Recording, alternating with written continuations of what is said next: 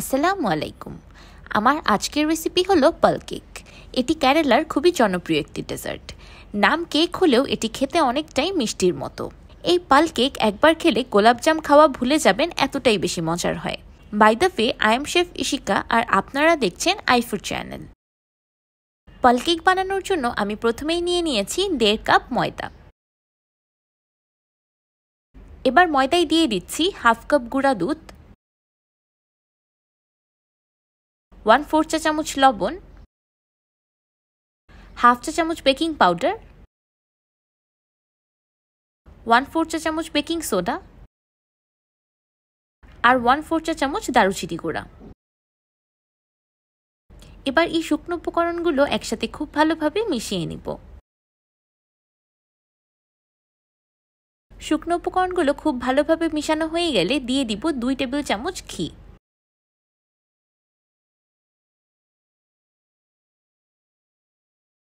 এবার ঘি শুকনো উপকরণের সাথে মিশিয়ে খুব ভালোভাবে ময়ান করে নেব।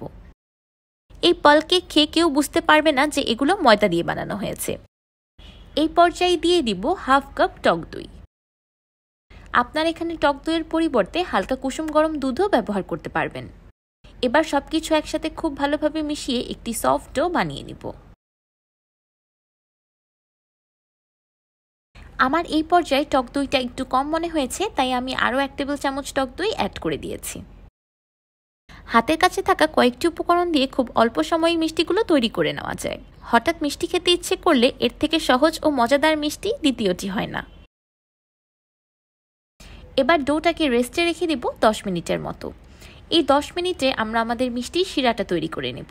শিরা তৈরির জন্য একটি প্যানে দিয়ে দিচ্ছি দুই কাপ চিনি।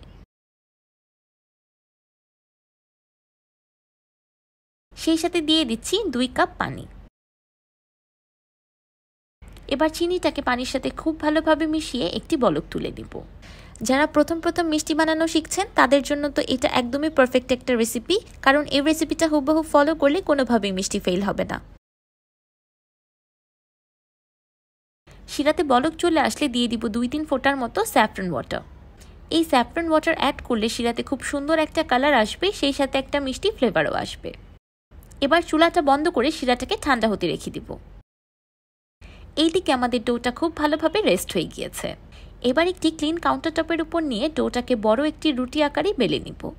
ডোটা বেলার সময় কোনো রকম শুকনা ময়দা ব্যবহার করা যাবে না। আমার রেসিপিগুলি যদি আপনাদের কাছে ভালো লেগে থাকে, তাহলে আমার চ্যানেলটিকে প্লিজ সাবস্ক্রাইব করে দিবেন। বেলার পর থিকনেসটা কিছুটা এমন হবে। না খুব বেশি মোটা, না খুব বেশি পাতলা। এবার আমি একটি পিজা কাটার দিয়ে প্রথমে ডোয়ের সাইডের অংশগুলো কেটে সমান করে নেব। তারপর আমার পছন্দ মতো শেপে কেটে মিষ্টিগুলো বের করে নিব। অথেন্টিক ক্যারালার পলকেকগুলো এমন রেক্ট্যাঙ্গেল শেপের হয়, তাই আমি এই শেপের বানিয়েছি। আপনারা আপনাদের পছন্দ অনুযায়ী অন্য শেপেও বানিয়ে নিতে পারেন। এবার মিষ্টিগুলো একটি প্লেটে তুলে রাখছি। সাইডের যে অংশগুলো প্রথমে কেটে ফেলেছিলাম, সেই অংশগুলো দিয়ে আমি আরও মিষ্টি বানিয়ে নিয়েছি। এবার এই মিষ্টিগুলোকে ভাজার পালা।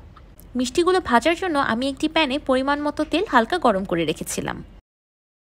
এবার মিষ্টিগুলো তেলে দিয়ে দিব। এবার চুলার মিডিয়াম হিটে মিষ্টিগুলোকে আস্তে আস্তে ভেজে নেব। তেল বেশি গরম থাকলে বা চুলার হিট বেশি বাড়ানো থাকলে মিষ্টিগুলোর বাহির থেকে তাড়াতাড়ি কালার চলে আসবে আর ভিতর থেকে কাঁচাই রয়ে যাবে। তাই একটু সময় নিয়ে আস্তে আস্তে মিষ্টিগুলোকে ভেজে নিতে হবে।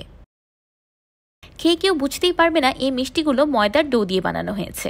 খেতে অনেকটাই ছানা বা গুঁড়া দুধের গোলাপ জামুনের মতো লাগে। ভাজতে ভাজতে যখন মিষ্টিগুলোতে এমন গোলাপজামের মতো একটা কালার চলে আসবে, তখন চুলা থেকে নামিয়ে নিব।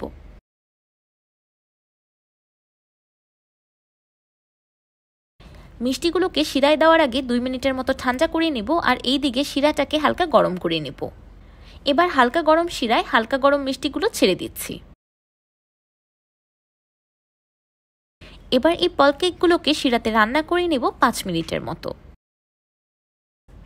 আমার রেসিপিটি হুবাহু ফলো করলে আপনারা প্রথম চেষ্টাই বানিয়ে নিতে পারবেন একদম নো ফেল পলকেক